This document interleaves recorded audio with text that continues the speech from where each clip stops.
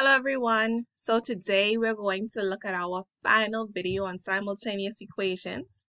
And in this video, we're going to, all right, here we go. We're going to solve simultaneous equations using the substitution method. I think all of my other videos were on elimination. This one is going to be specifically substitution. And you can decide for yourself which one you prefer. All right, so let's get right into a question. And I'm told to use the substitution method to solve. I have x plus 2y equals 8, and that's equation 1. 2x plus 3y equals 14, and that's equation 2. Here's what you're going to look for.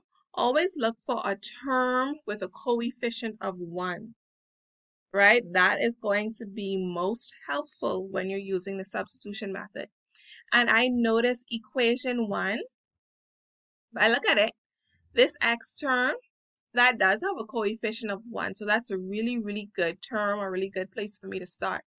So the first thing I'm going to do is solve equation 1 for x, which means I'm going to make x the subject. And I did that by subtracting 2y from both sides.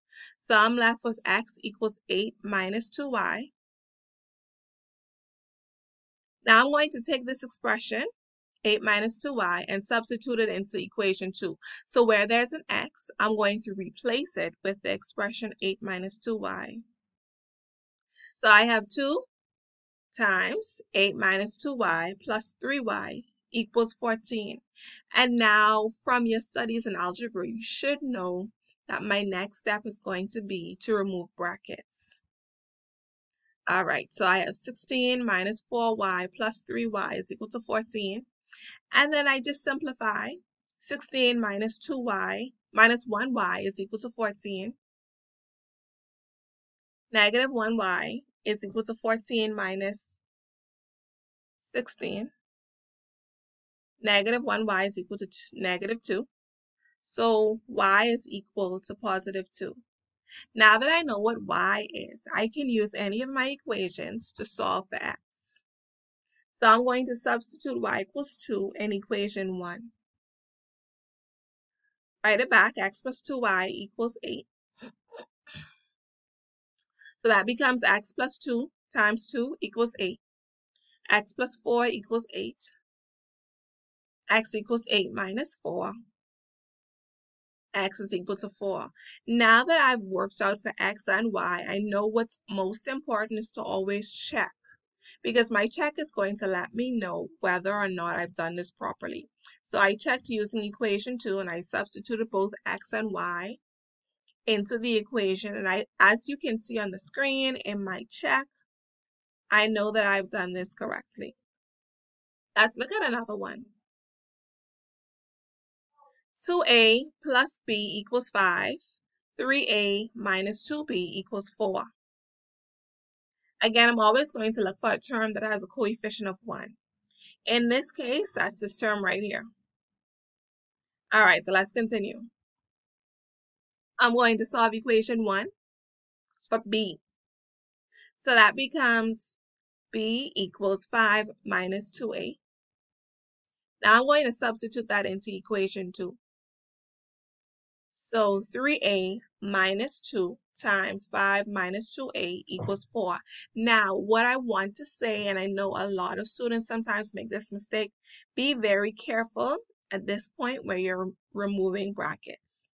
Because you want to multiply each term inside the brackets by a negative 2. So that's not just 2, but it's in fact a negative 2 that you're multiplying by. So my next step is going to say 3a minus 10 plus 4a. Notice what happened. Negative 2 times negative 2a became a positive 4a is equal to 4. 3a plus 4a minus 10 is equal to 4. 7a minus 10 is equal to 4. 7a is equal to 4 plus 10. 7a is equal to 14 a is just equal to 2. All right, now I know what a is. I'm going to substitute a equals 2 back into equation 1. So 2a plus b equals 5. 2 times 2 plus b equals 5. 4 plus b equals 5. So b is equal to 5 minus 4. b is just equal to 1. And of course, now that I've worked out a solution for a and b, I'm going to check. Check using equation 2. And I think what's lovely about algebra, especially when I'm solving equations, I can always check to see if I've done this correctly. So I've substituted a and b into equation 1, equation 2, sorry, and I've simplified and I do see that it works out. All right, thank you so much for watching. I hope that this video has helped you in some way. You take care. Bye now.